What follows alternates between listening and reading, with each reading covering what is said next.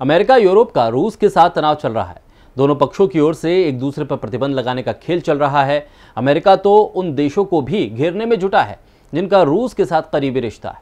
इस सबके बीच रूसी राष्ट्रपति व्लादिमिर पुतिन ने भी अमेरिका को उसी की भाषा में जवाब देने की तैयारी कर ली है।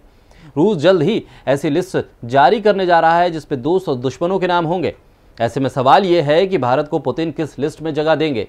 देखिए इस रिपोर्ट में रूस बहुत जल्दी ये बात सार्वजनिक करेगा कि दुनिया में कौन सा देश उसके साथ है और कौन उनके खिलाफ। रूसी राष्ट्रपति व्लादिमीर पुतिन के निर्देश पर रूसी विदेश मंत्री सरगेई लावरोव ने साफ़ कर दिया है कि हम बहुत जल्दी इस तरह की लिस्ट सामने ला रहे हैं, जिसमें दोस्त और दुश्मनों की पहचान की जाएगी।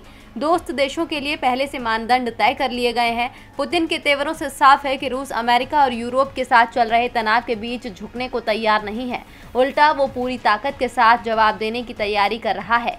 रूसी विदेश मंत्री ने कहा कि हमारे पास साफ़ निर्देश हैं। हम दोस्त और दुश्मनों की पहचान कर रहे हैं। इस कार्य में जो मापदंड हैं, वे साफ़ हैं। इसीलिए मुझे लगता है कि हमें लंबा इंतज़ार नहीं करना पड़ेगा।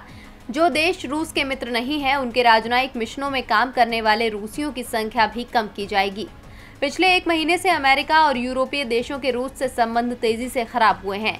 अमेरिका, स्वीडन, रोमानिया, चेक रिपब्लिक और इटली ने रूसी राजनयिकों को अपने देश से निकाला है। जिसके जवाब में रूस ने भी इन देशों के राजनयिकों को अपने देश से निकालने का ऐलान किया।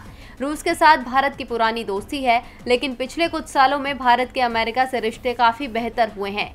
ऐसे में पुतिन भारत को किस सूची में जगह देंगे, इस पर भी सभी की निगाहें हैं। वैसे इस साल के अंत में पुतिन का भारत का दौरा प्रस्तावित है। भारत इस समय महामारी से लड़ रहा है और इसमें सबसे पहले रूस की ओर से मदद का प्रस्ताव भेजा गया था।